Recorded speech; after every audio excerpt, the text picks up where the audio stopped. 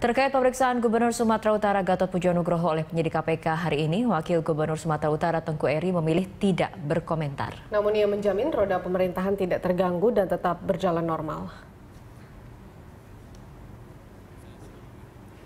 komen itu ya.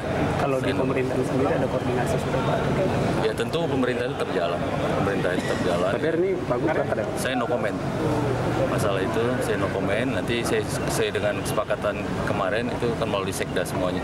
Saya silakan nanti tanya ke sekda aja. Berarti tidak langsung ke Bapak ya? Sekda, kita sudah sepakatin itu satu pintu saja supaya jangan terlalu imbas nanti berita-berita yang, yang yang tentu ini sekarang menjadi apa namanya perhatian publik. pemerintahan tetap jalan. Tetap jalan, tetap jalan. Ada wakil, ada sekda, KPD juga tetap semua jalan.